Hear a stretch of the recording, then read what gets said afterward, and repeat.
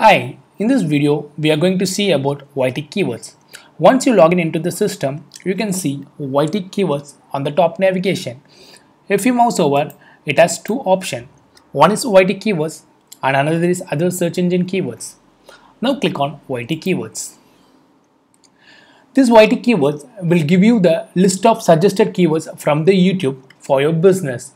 For example, your business is fashion. You can just type fashion as a keyword and you can just click on suggest keyword.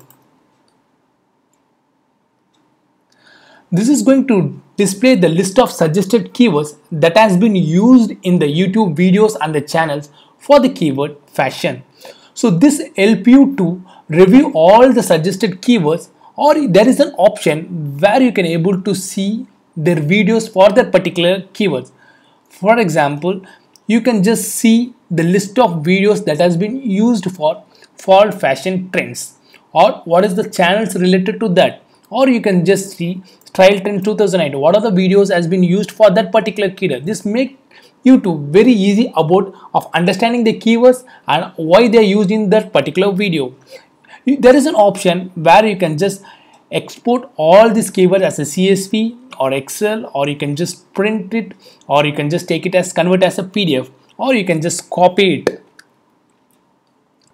Now I'm just going to show a small view videos for the suggested keywords. I'm just clicking on fall fashion trends view videos. It is going to display the list of keywords that has been used for fall fashion trends. If you want to use to see the channels that has been used for the keywords for all fashion view channels, just click on view channels. This is going to, to display the list of channels that has been used on the fashion trends. So now you can able to get the suggested list of YouTube keywords by entering the particular keyword that you want to search. For example, if your business is SEO, just type SEO and click on suggested keywords these are the keywords which is displays that has been used particularly on YouTube videos for SEO business. So this help you to understand the business and as well as the keywords that they used on the YouTube for your particular business. Now we are going to see about other search engine keywords. Other search engine keywords is like an auto keyword suggestion that has been from the web browsers like Google, Bing and Yahoo and Wiki and as well as with Amazon. Now I'm going to type fashion. Just click on start searching. It is going to display the list of suggestion has been provided from the Google, Bing, Yahoo, Wiki, Amazon. So this, this also make you to get some better understanding about the suggestion keywords for your business.